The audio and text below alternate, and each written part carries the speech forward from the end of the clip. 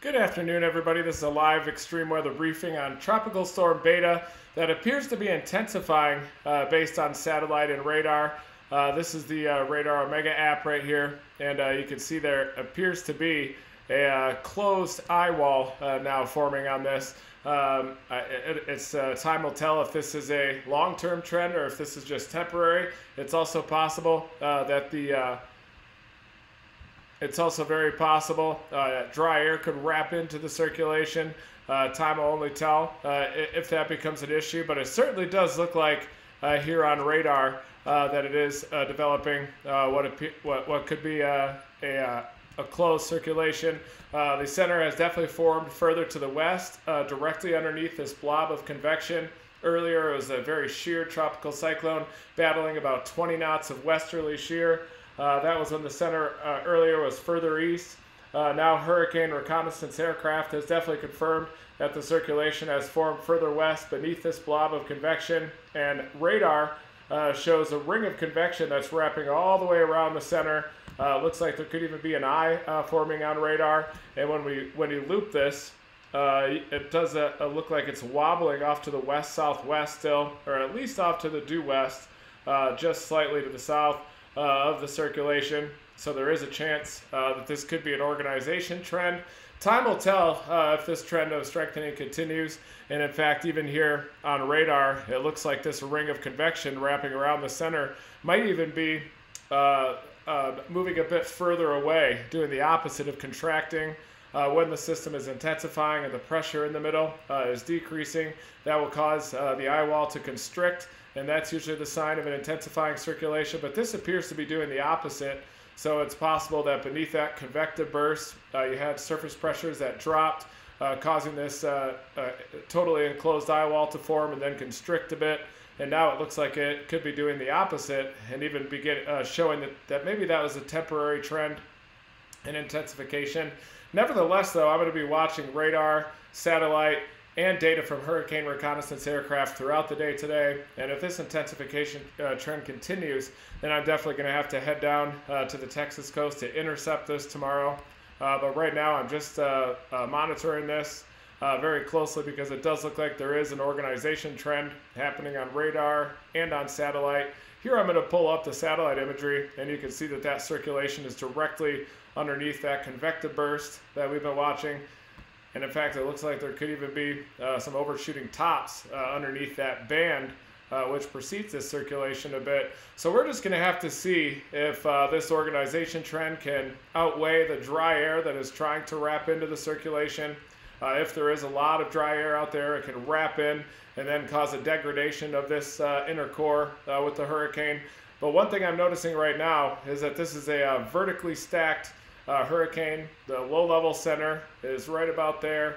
Uh, the mid and upper level uh, rotation is also located up here. Uh, it's vertically stacked with a convection, and this is a more favorable configuration for intensification than that strongly sheared system as it was battling those uh, 20 knot uh, winds at the mid and upper levels. that was causing the convective burst to get sheared way off to the east of the center, and that would expose the low level center and lead to a tilted tropical cyclone. Uh, but this one definitely is more vertically uh, stacked now, and this is why I wanted to do a, another live update uh, with this new uh, development uh, because it does look like uh, this system could be organizing quite a bit. Let's go back to the visible satellite. And this really shows the organization trend. Uh, the old center uh, was located here, uh, well to the east of this new convective burst, and now we have this well-defined convective plume, uh, and the, the low-level center is contained within. Radar supports that it does uh, appear to be organizing with that convection wrapping all the way around the center in an enclosed eye. Uh, but radar also shows that that eye wall uh, looks to be uh, moving apart just a bit and expanding, uh, which would show that those surface pressures could be rising just a little bit. And this convective burst and latest organization trend could be temporary. However, you can see these streamers wrapping in here in the low levels. Uh, it looks like uh, this inner core is expanding off to the southwest, which would tell me that this is winning out over the dry air that's located out ahead of it. So this hurricane could be carving out a little pocket of uh, favorable environmental conditions uh, within uh, that dry air as the dry air wraps around and that pocket could be large enough uh, to even sustain intensification within this. But this is the visible satellite showing a vertically stacked system. Uh, this looks a lot different than that strongly sheared system when it had an exposed low-level center tilting up with height uh, back to the northwest, uh, where the convective plumes then would become these predecessor convergent bands and then head up toward Louisiana. But another thing that I'm seeing here is that with this more defined inner core, it could mean that rainfall totals have been underestimated uh, by yesterday evening and this morning's model runs, uh, showing just about six to eight inches of storm total precipitation along the Texas coast. But I think that with this uh, better defined inner core, there could definitely be double digit uh, rainfall totals uh, along the Texas coast from uh, Tropical Storm Beta. And if this intensification continues, who knows, maybe even a Category 1 Hurricane Beta could be back on the table before making landfall uh, down near the Port Lavaca area, maybe a little further northeast than that. And then that northeastward turn happens after landfall just inland, and that northeast turn uh, could bring uh, and prolong uh, the heavy rainfall across the Houston area, which is an incredibly uh, flood prone zone. And uh, you're already getting uh, winds becoming more onshore uh, with that center forming further west.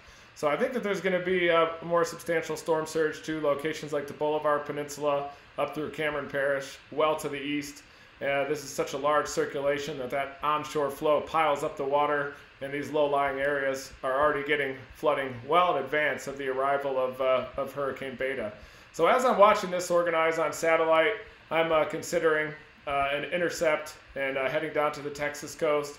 But certainly, one thing we're seeing this early afternoon is a substantial organizing trend evident on radar and on satellite. Uh, going back to the radar imagery, I'm, I'm really patiently awaiting the uh, arrival of the Hurricane Hunter aircraft data to see if this thing is intensifying and to see if those pressures are dropping. Uh, but, but on radar, here you can see where those overshooting tops are located uh, out here. Uh, those are showing up on high resolution satellite. And this radar and satellite imagery is on the Radar Omega app. Uh, this is what I'm using, using the tracking tools as well on this. And uh, it does look like that eye wall is expanding just a little bit, which would hint that maybe that strengthening uh, trend was rather temporary. But we're just going to have to see if the dry air that is inevitably going to wrap into this circulation is going to win out over this organization trend, or if beta can actually carve out a pocket of uh, favorable environmental conditions for intensification within that dry air.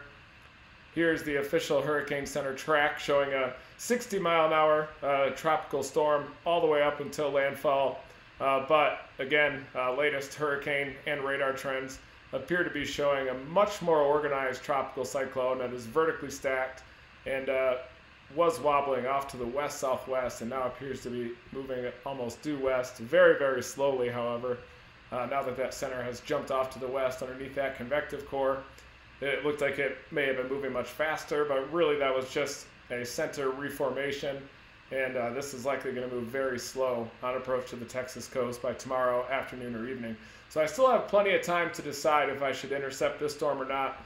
And I'm going to likely do many more of these live briefings leading up, uh, but it does look like it is intensifying, and I'm definitely considering an intercept. So thank you everybody for tuning into this, and I'll continue with these live briefings uh, leading up, and I'll also continue to uh, keep you updated on my storm chasing plans. But if this strengthening trend continues during the day today, then I'll definitely have to reactivate storm chase mode but I'll keep you updated no matter what. Thanks and uh, enjoy the rest of your Sunday.